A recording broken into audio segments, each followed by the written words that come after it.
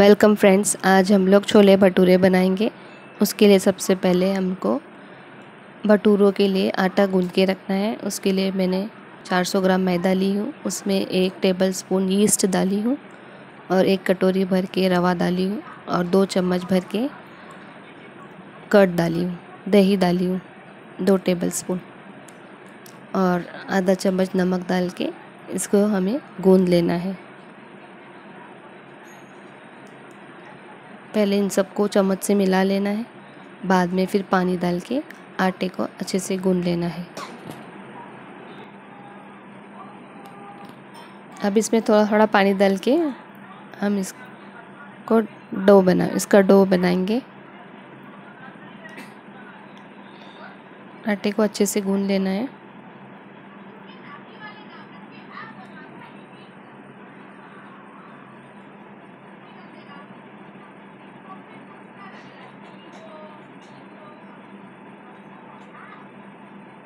ये हो गया है। अभी इसको एक घंटे के लिए हम ढक के रख देंगे।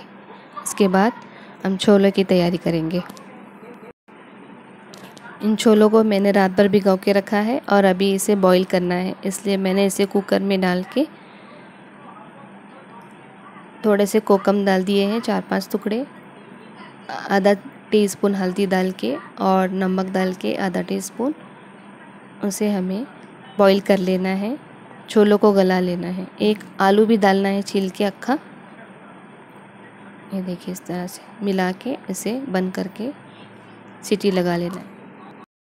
मसालों में टमाटर, कांदा, हरी मिर्ची और थोड़े बहुत लहसुन रख के और अक्खा, धनिया, ज़ीरा और सौंफ इन्हें भून के पीस लेना है। भून के पीस लेना है इन मसालों के साथ।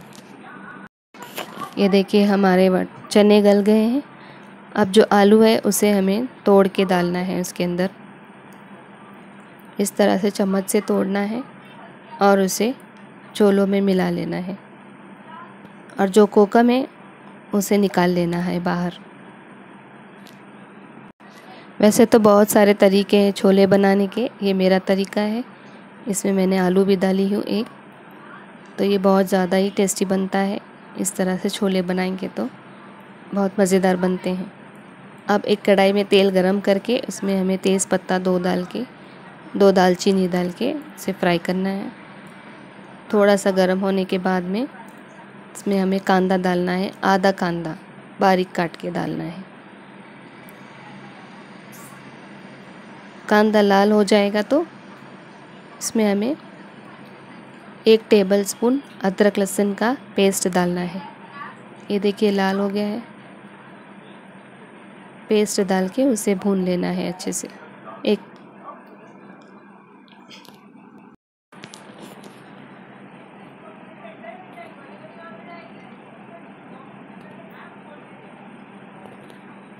अब जो हम मसाले हमने पीस के रखे हैं, उसे ऐड करना है। देखिए इस तरह से धीरे धीरे डालना है। सारे मसालों को अच्छे से भूनना है। इसका पानी सूखने तक इसे भूनना है। इसमें थोड़े लाल मसाले भी डालने हैं हमें। उसके लिए सबसे पहले मैं डेढ़ टीस्पून लाल मिर्च पाउडर डालूँगी, एक टीस्पून गरम मसाला डालूँगी और आधा टीस्पून हल्दी का पाउडर डालूँगी। क्योंकि हल्दी हमने पहले भी डाल चुके हैं बॉईल करने के टाइम पे, इसलिए आधा टीस्पून ही डालूँगी। अब इसे मिला लेना है अच्छे से और इसका पानी सूखने तक हमें इसे फ्राई करना है।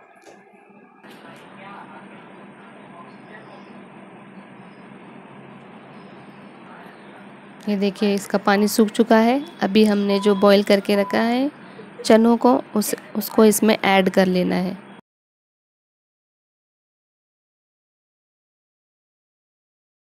इसे अच्छे से मिला लेना है। और अगर आपको और पतला चाहिए तो आप आप लोग इस, इसमें पानी डाल सकते हैं।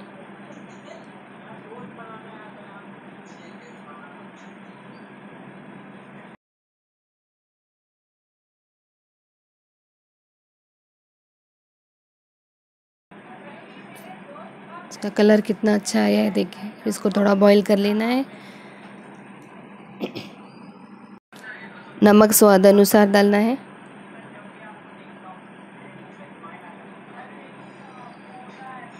इसके बाद कसूरी मेथी एक टेबल स्पून लेके भून कर उसे हाथ से ही पीस लेना है।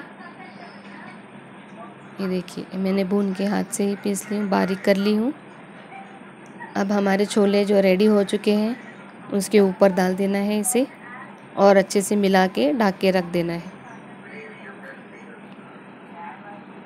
हमारे छोले रेडी हो गए हैं। अब जो आटा हमने ढाक के रखा है, उसे हमें निकालना है। ये देखिए, एक घंटे बाद ये फूक गया है, अच्छी तरह से फर्मेंट हो चुका है। इसे और थोड़ा सा गूंदने के बाद इसमें से छोटे छोटे पेड़े निकाल के हमें भटूरे के लिए बेलना है, इस तरह से। और कढ़ाई में पहले से ही तेल गरम करके रखना है मीडियम फ्लेम पे, भटूरे को फ्राई करने के लिए। इस तरह से आराम से डालना है और उसके फूगने तक हमें इसे फ्राई करना है।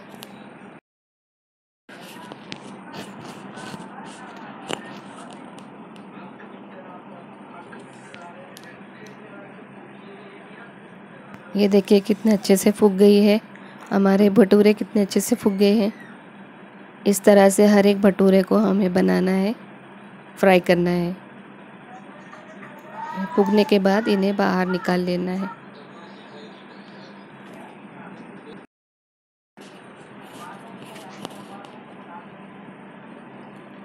सारे भटूरे इसी तरह हमें फ्राई करके निकाल लेना है। तो ये रेडी हो जाएँगे।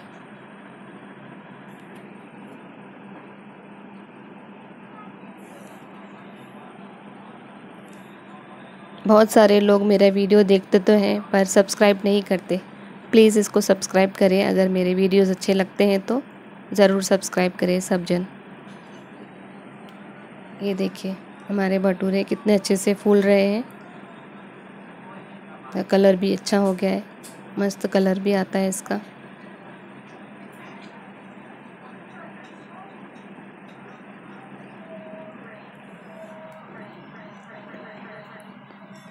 भटूरे सारे रेडी हो गए और छोले भी रेडी हो गए हमारे। ये देखिए टेम्पटिंग डिश है कितनी। You know the drill like share subscribe and press the bell icon thank you